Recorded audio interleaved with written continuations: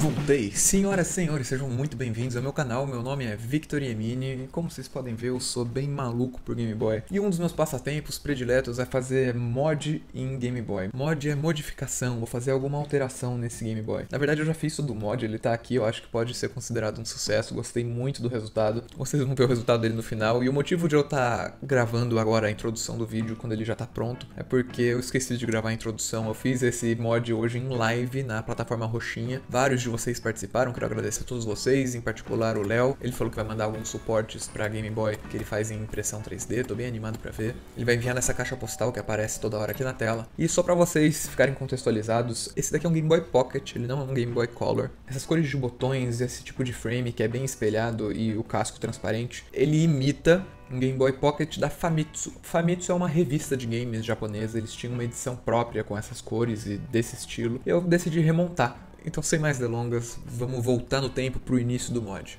Fui.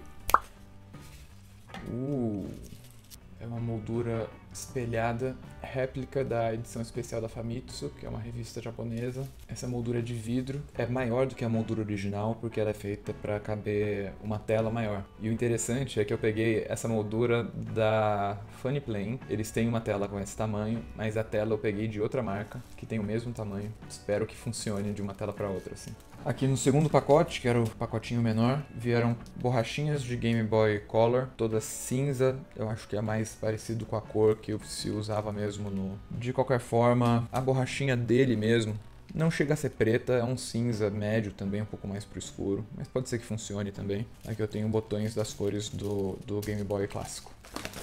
Bom, tem algumas coisas para falar sobre tudo que veio aqui. Eu acho que esse daqui é o terceiro kit de IPS e casco que eu compro desse, dessa marca, que é essa Expedido, e eu sempre deixo o link deles aqui na descrição do vídeo quando você assistir no YouTube. A última tela que eu fiz, que foi daquele Game Boy tijolão, ela veio quebrada, ela simplesmente não funcionou. Quer dizer, ela funcionou, mas tinha uma mancha ali no canto da tela. Eu mandei para eles foto, eles não reclamaram nem nada, falaram que ia me mandar uma nova. Falei que o Power LED estava quebrado também, porque realmente estava, eu percebi depois na edição e falaram que tudo bem, vão me mandar uma placa nova também. Essa aqui é deles de novo, tô curioso para ver se veio arranhada ou se ela veio zerada, porque eu acho que as outras que eu tinha instalado deles estavam zeradinhas e aquela dali especificamente, quando eu tirei da embalagem, já estava um pouco arranhada. Vamos testar.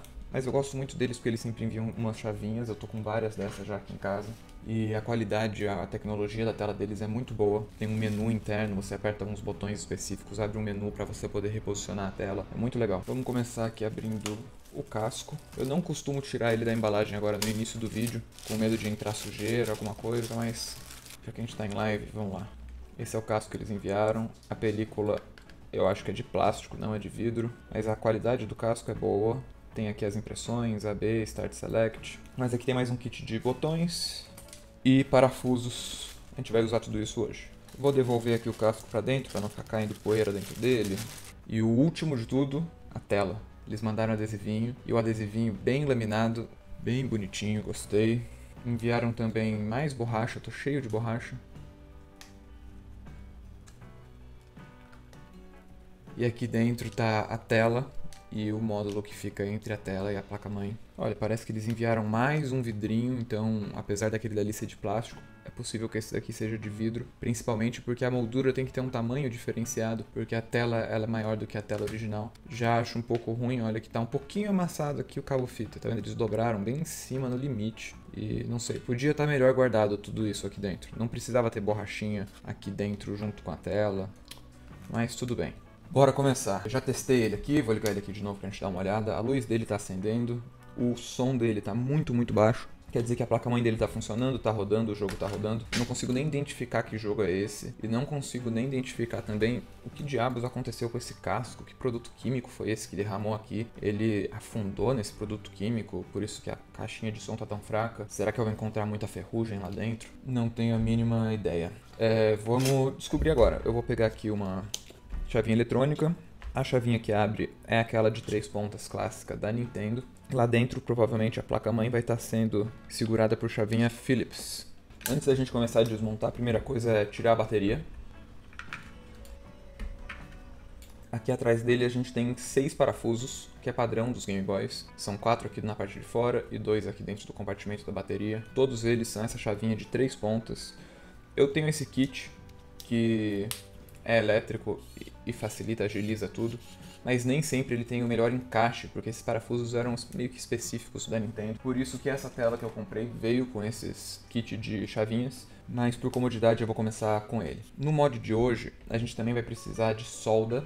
Essa tela, eu acho que talvez seja opcional, mas talvez não. Talvez seja obrigatório fazer essas soldas, principalmente a de energia. E é recomendado também que você tenha um multímetro que eu vou usar aqui, acabei de colocar as pilhas no multímetro, que ele vai ser usado hoje. A gente precisa checar qual pontinho que se relaciona com qual botão. É sempre, você, pode, você consegue até fazer sem um multímetro olhando aqui pelo meu vídeo, mas se tiver um multímetro você consegue checar melhor.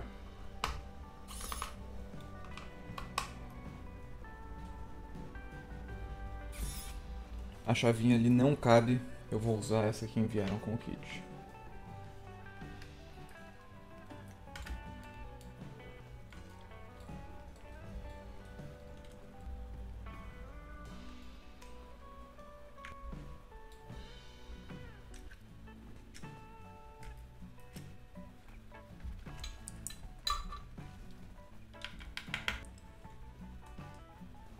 Seis parafusos depois, a gente já consegue agora separar aqui a parte de trás do casco e expor a placa-mãe. Muito, muito parecido com o Game Boy Color.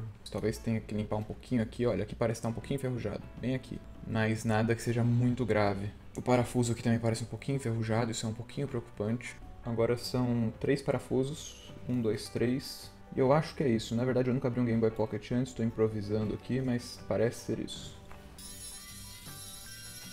Três parafusos, a placa está solta. A gente tem também que tirar com muita delicadeza o cabo fita aqui de cima.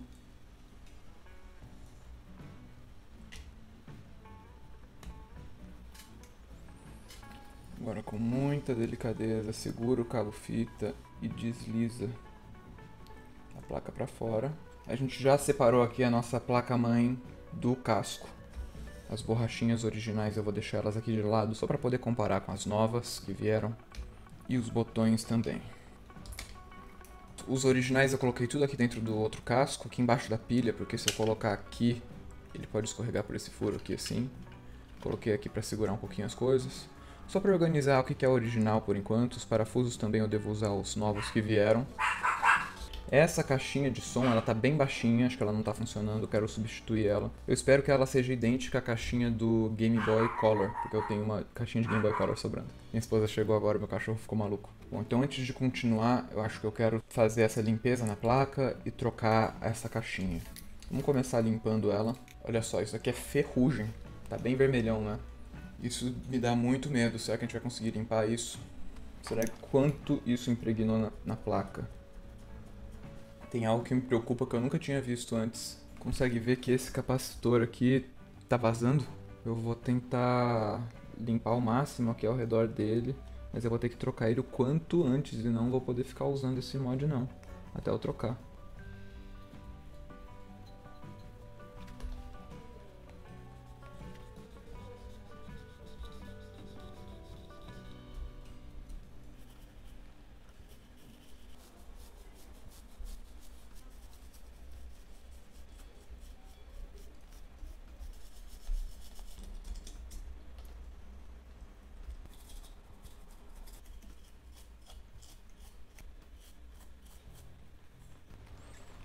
Fiz o melhor que eu pude aqui para tirar todas as marcas de ferrugem que tinham da placa. Escovei ela bem para deixar ela bem branquinha.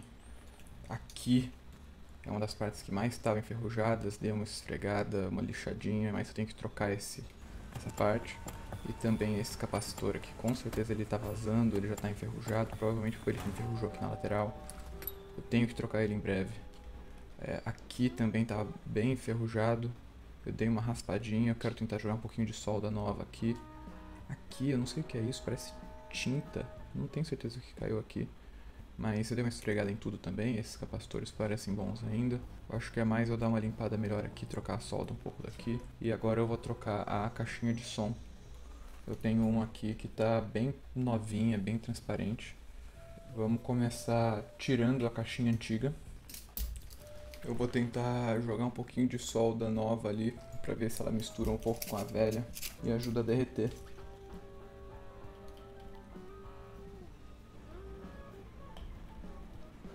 Foi.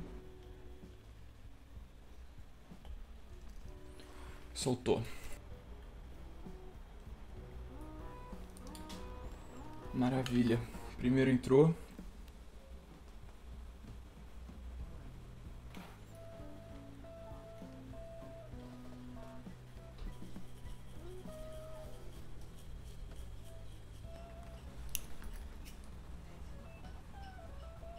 Essa com certeza foi uma das placas mais difíceis que eu tive que limpar. Ela estava muito enferrujada. Aqui embaixo tinha uma parte bem, bem enferrujada. Eu tentei fazer o meu melhor e jogar uma solda nova aqui por cima. Mas ela ainda está um pouquinho avermelhada aqui, dá pra ver. E um dos capacitores, comentei antes, está queimado. Ele já deu uma vazada, dei uma limpada aqui nele, mas pode ser que ele vaze de novo em breve. Eu tenho que substituir ele o mais rápido possível. Mas fora isso, em teoria essa placa aqui tá funcionando bem. Agora tá limpa, tá com uma caixinha de som novinha em folha, olha só, tá super transparente tudo, tipo, podia estar tá um pouco menos enferrujada, é claro. Aqui eu não consegui muito trocar a solda, eu coloquei um pouquinho de nova, mas não tá 100%, podia estar tá melhor. Vamos continuar para a parte que a gente monta a nossa parte da frente do casco. Vamos agora tirar a tela aqui de dentro pela primeira vez. Muito cuidado e delicadeza. Yeah! Veio aqui uma película de vidro, mas a gente vai usar a nossa espelhada da Famitsu, não vai ser essa, mas elas parecem ter o mesmo tamanho, isso é ótimo.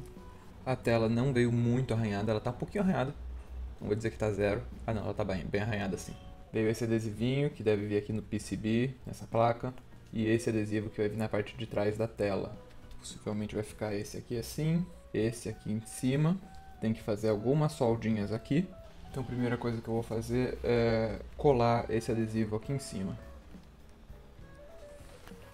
Alright. Essa tela ela vai entrar bem aqui. Vamos continuar preparando a tela. Primeira coisa que a gente tem que fazer sempre que a gente compra um kit desse é testar a tela. Então agora que eu tô com ela já protegida aqui, eu vou primeiro conectar esse PCB aqui na placa. Ele vai ficar meio assim, eu acho. Eu vou levantar essas duas perninhas, vou encaixar aqui esse módulo que fica entre a placa e a tela, baixar aqui as perninhas laterais. Encaixei aqui o cabo fita, aqui nessa ponta encaixa a tela.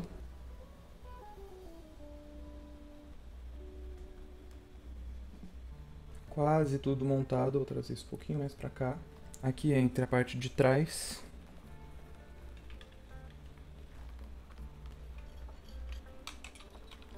Bom, vamos lá, hein? Agora é hora da verdade. Cadê aqui um, uma coisa? Vamos ver se essa tela acende. Não acendeu a tela. E o som também não saiu.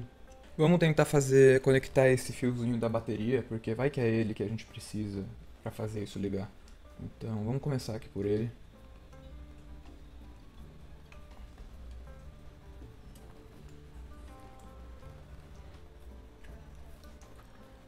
Ok.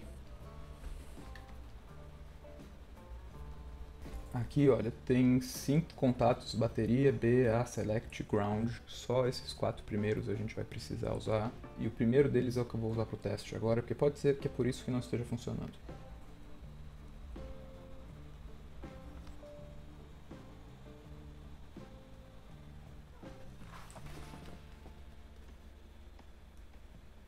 Bom, se o problema era a bateria, em teoria agora ele está resolvido. Vamos ver se essa tela acende. Vamos ver se agora tem algum sinal. Um, dois, três e. Opa! Isso é ótimo. Isso é ótimo. Quer dizer que o Game Boy está funcionando. Pode não estar tá saindo som, mas a tela está funcionando. É, por algum motivo o som não está saindo. Mas eu acredito que a culpa seja daquele capacitor que estava antes. De qualquer forma, maravilha. Se a tela está funcionando, a gente pode continuar e depois a gente troca a caixinha de som, a gente vê como que a gente pode consertar isso. O importante é a gente ver se a tela está funcionando e ela Tá perfeita. Vamos tirar as baterias. Tirar a placa-mãe daqui. Vou desconectar a tela aqui dessa placa. Cuidado com a tela, é bem delicada. Vamos desconectar agora a placa-mãe dessa placa intermediária que fica entre a tela e a placa-mãe. Levantando aqui o cabo fita, a trava do cabo fita. A gente tira aqui com bastante delicadeza. Agora que eu tenho que fazer solda nesses quatro pontinhos e conectar em alguns pontos que estão aqui, ó. E é por isso que a gente precisa do multímetro porque a gente vai ver aonde que ele conecta. No tutorial ele manda conectar nos pontos aqui, mas se a gente colocar aqui, a gente vai conseguir visualizar esses pontos do casco. Se a gente colocar aqui, ele vai ficar escondido atrás da tela e é melhor pra gente. Vamos aqui com o multímetro fazer alguns testezinhos rápidos só pra gente confirmar qual é o ponto que eu devo soldar. Segundo o Mako, esse daqui é o Select. Vamos ver aqui. Yeah, viu que modulou aqui? Então vamos começar por ele.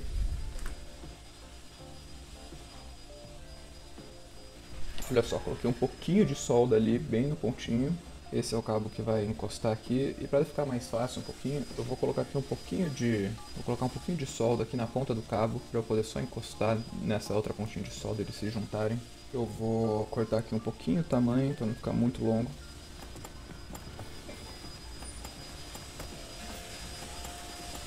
Coloquei um pouquinho de solda aqui na pontinha do cabo.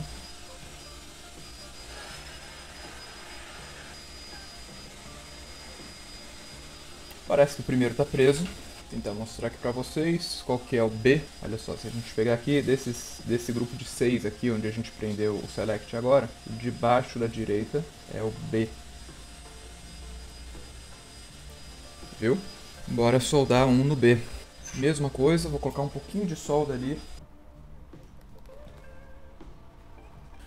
Segundo cabo preso, esse é o B.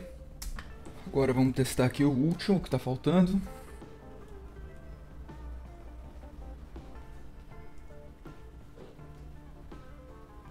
Aqui. O de baixo da esquerda. De novo, cortar aqui um pedacinho, deixar ele um pouco mais curto. Vou colocar aqui nele um pouquinho de solda. Vamos lá, tentar encaixar esse último fiozinho sem remover os outros, porque essa é a parte mais difícil. Uma mexidinha de dedo já remove os outros, porque tá um do ladinho do outro. Consegui soldar esses três fios que representam os botões. Agora eu tenho que soldar eles aqui nessa placa que fica entre a placa-mãe e a tela. Vamos mover tudo um pouquinho mais pra cá, para vocês conseguirem ver. Agora eu vou colocar um pouquinho de solda nesses três pontinhos aqui. O último não precisa.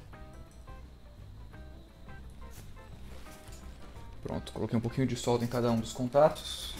Vou tentar fazer em ordem aqui. O primeiro deles, depois da bateria, é o B.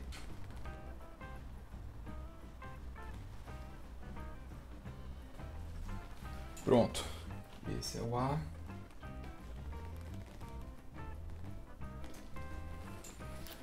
Encaixei o A. Vamos pro último, que é o Select.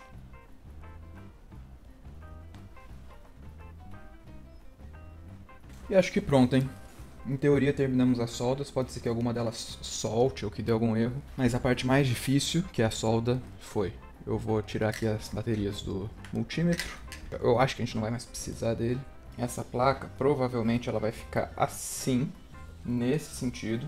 Eu não vi nada ali falando sobre isso, mas aqui a gente pode, por exemplo, cortar esses contatinhos para arranhar menos a, o contato ali da tela.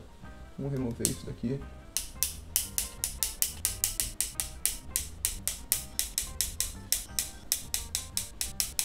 Assim fica mais difícil de arranhar aqui quando a gente ligar tudo.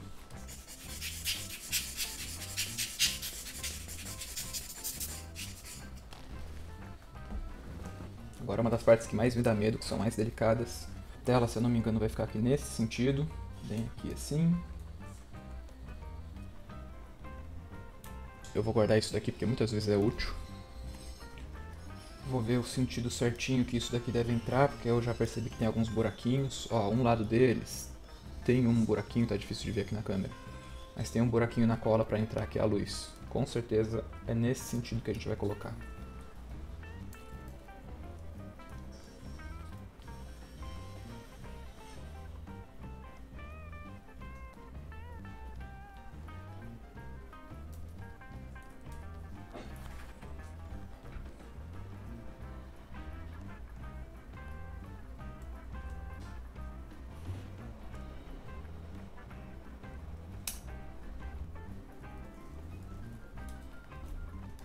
Aqui a parte da fita, vou desproteger aqui a tela agora e vou tentar colar aqui. Cuidado que essa parte tem que ser muito certeira, não pode errar, porque depois não tem como descolar essa tela ou pelo menos não é recomendado que a gente descolhe.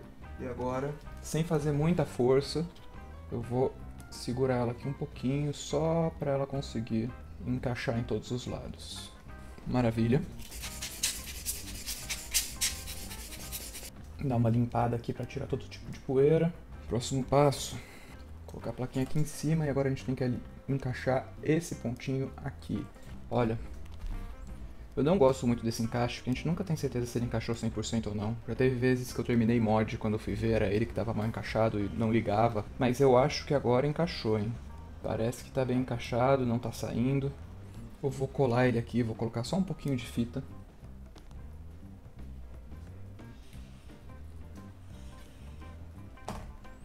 Tentar colar ele aqui de forma bem alinhada mas eu coloquei só um pouquinho de fita porque eu quero conseguir tirar essa placa sem muita dificuldade no futuro, se precisar. Reta final, parte da frente do casco está pronta.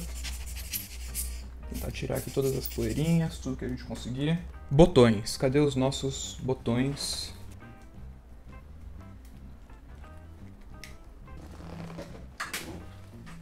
Como eu decidi usar a borrachinha original, vou dar uma limpadinha nela para tirar um pouco do, das impurezas da mão das, da última pessoa que jogou.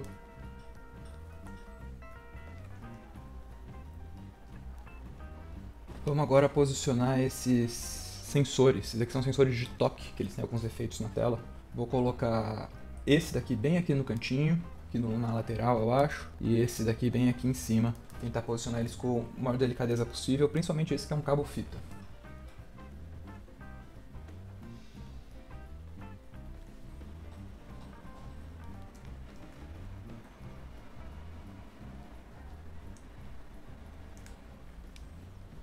Colei ele aqui com uma fitinha dupla face. Esse outro aqui já veio com uma fitinha. Vou usar ele para colar bem aqui no cantinho, ó, bem ali do lado.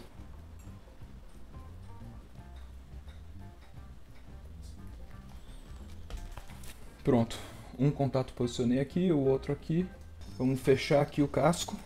Vamos só checar se os, os botões estão todos aqui.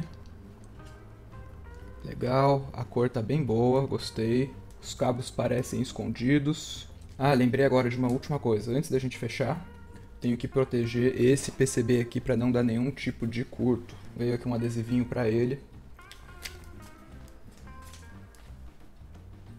Cobri ele todo.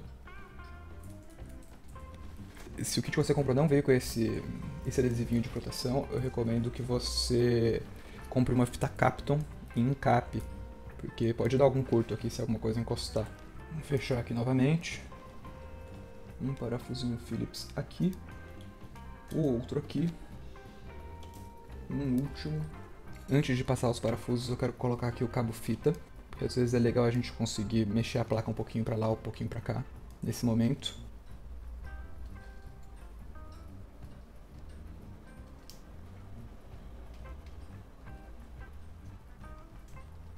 Um lado foi, agora eu tenho que segurar o pininho desse lado e apertar o do outro. Pronto, abaixei os pininhos brancos aqui dos dois lados. Vamos agora fechar esses três parafusos. Só queria apontar, olha só, em breve eu vou ter que reabrir para trocar esse capacitor que já está até vazando. Eu não sei se eu posso só remover ele agora para prevenir ou se eu tenho que deixar ele aí. Eu vou por enquanto deixar ele aí, mas muito em breve eu quero trocar os capacitores todos, esse principalmente que está vazando. Agora que a gente parafusou a placa-mãe, é o momento certo da gente testar os botões. Parece que a pressionada tá boa. Não tô sentindo nada de anormal por enquanto. Start Select também. Antes de fechar de vez, não esquece de colocar o botãozinho de ligar e desligar. Vamos pegar, vamos colocar o casco aqui de trás. Vamos colocar só dois parafusos por enquanto, só pra gente checar se está ligando, se está tudo funcionando. Aí se estiver ligando, a gente já fecha o resto.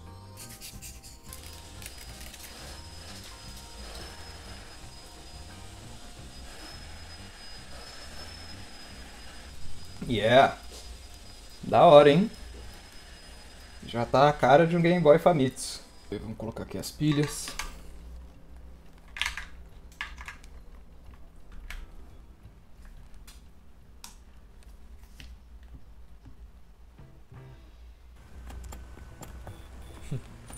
Ele tá funcionando, olha só que legal. Ficou até colorido, se eu não me engano, o Game Boy Pocket ele não era colorido assim. Level 1. Start.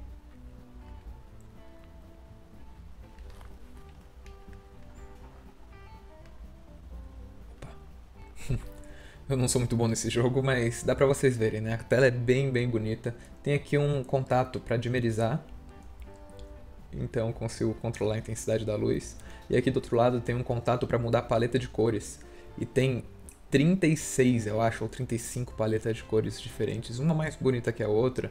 Dependendo do, do jogo que você jogar, sabe? É, dá uma sensação muito mais retrô pro aparelho. Porque muitos aparelhos antigos eles tinham umas cores meio assim mesmo.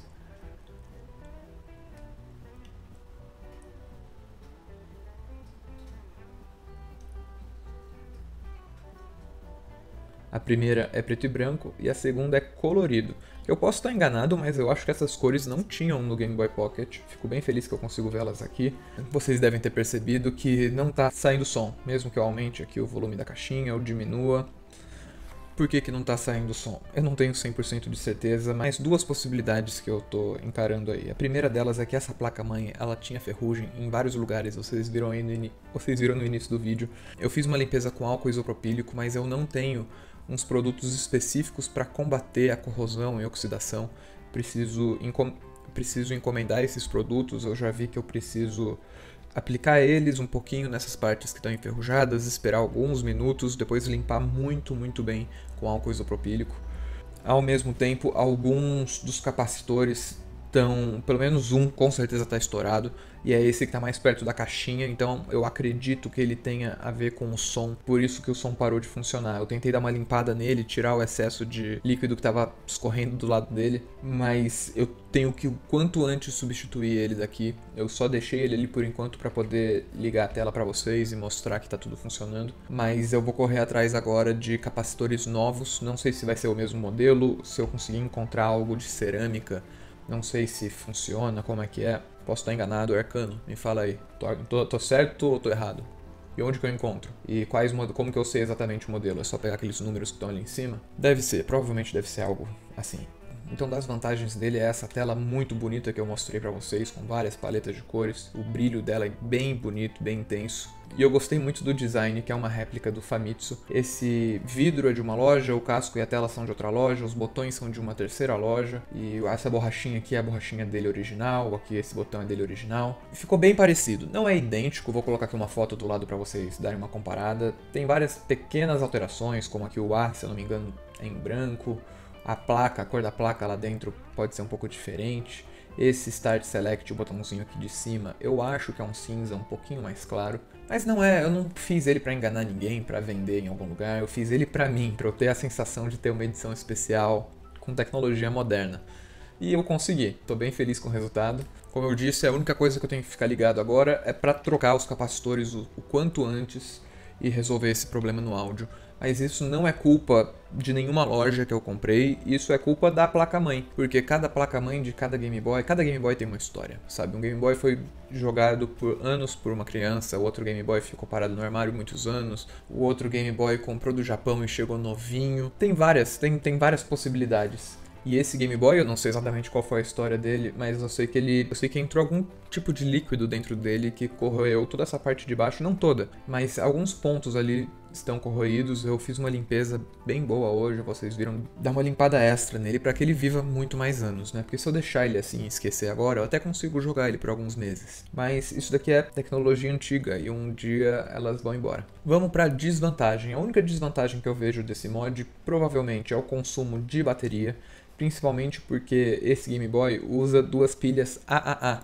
e elas têm muito menos carga, então a bateria desse Game Boy voa muito mais rápido. E por elas serem mais fracas também, eu consigo jogar aqui com esse cartucho, mas olha só o que acontece se eu colocar o meu cartucho flash da Easy Flash.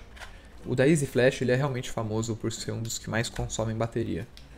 A Eneloop Pro é o melhor modelo de bateria que eu poderia ter para fazer esse teste, mas mesmo com a Eneloop Pro, quando eu ligo, ele liga a tela e em alguns segundos ele desliga. Porém, vamos testar aqui com o Everdrive GB Pro, né, um Everdrive pirata que eu fiz um unboxing dele semana passada. Ele tá sem um cartão SD, mas só vamos ver se ele desliga. Olha, não, aguentou. Perfeito. Tá sem cartão, ele não vai, não vai ligar. Mas maravilha. Muito feliz com isso.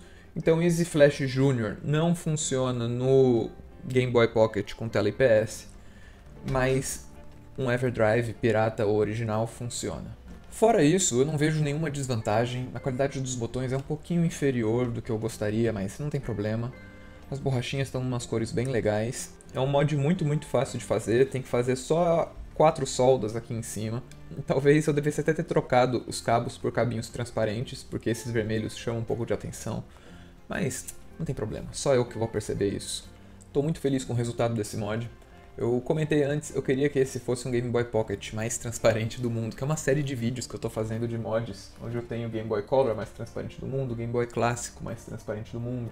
Eu tenho também um PSP mais transparente do mundo, que faltam umas correções ainda. E eu queria muito fazer o Game Boy Pocket mais transparente do mundo, mas ele não tem todas as peças transparentes. Eu não achei botões e membranas transparentes. Pesquisei um pouco mais e achei essa edição Famitsu, que eu achei muito bonita. Achei a réplica dessa película de vidro dessa edição especial e falei, quer saber, vamos fazer uma edição especial, que aqui na minha coleção eu não tenho nenhum que imita uma edição especial ainda. Aquele que eu tenho ali é uma edição especial original do Pokémon primeira geração, e essa é a primeira réplica que eu monto. Eu coloquei aqui no título brasileiro falsificando, brasileiro falsificando do Game Boy, raro, coisa assim, né? Mas é, de certa forma, é verdade. Só não vou vender ele nem nada, ele é pra mim mesmo, pra eu me divertir. Mas a verdade é que eu quero saber de vocês. O que, que vocês acharam desse mod? Vale a pena? Vocês curtiram? É um que vocês curtiriam fazer? Ficou alguma dúvida? Talvez esse vídeo tenha ficado um pouco mais atrapalhado, porque eu fiz todo ele em live lá na plataforma Roxinha, eu anunciei no vídeo de ontem, e alguns de vocês entraram lá e mandaram um alô.